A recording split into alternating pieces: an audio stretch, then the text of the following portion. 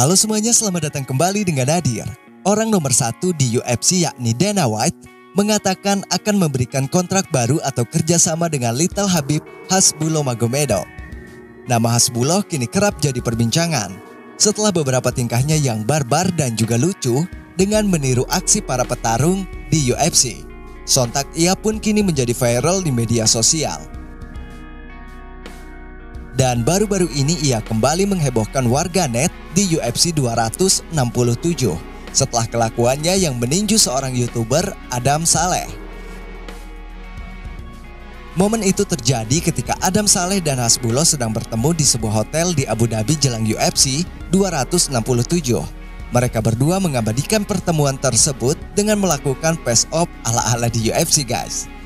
Tapi saat mereka berdua melakukan pose tersebut, Hasbulo justru meninju wajah Adam Saleh sebanyak dua kali yang membuat sang YouTuber kaget dan kemudian protes.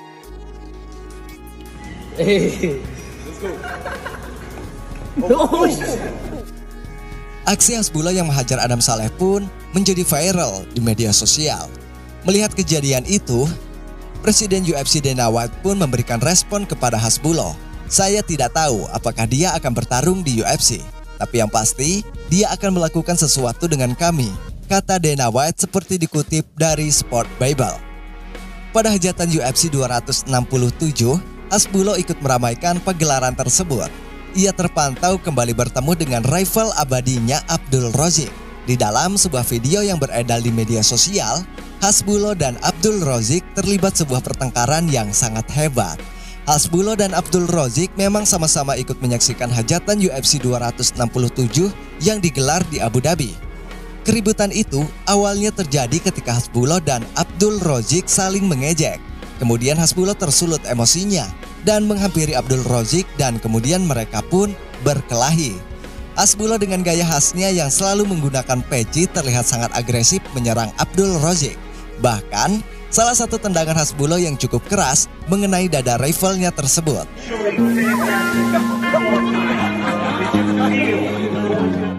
Beruntung perkelahian itu tak berlangsung lama guys. Para kru UFC yang berada di situ dengan sigap melerai Hasbulo dan Abdul Rozik. Sontak video itu pun langsung viral. Banyak para penggemar mixed martial art menginginkan Hasbulo dan Abdul Rozik bertarung di atas oktagon. Memang Hasbulo dan Abdul Rozik sudah lama terlibat sebuah percekcokan. Namun sampai saat ini pun laga keduanya belum pernah terwujud karena belum adanya sponsor.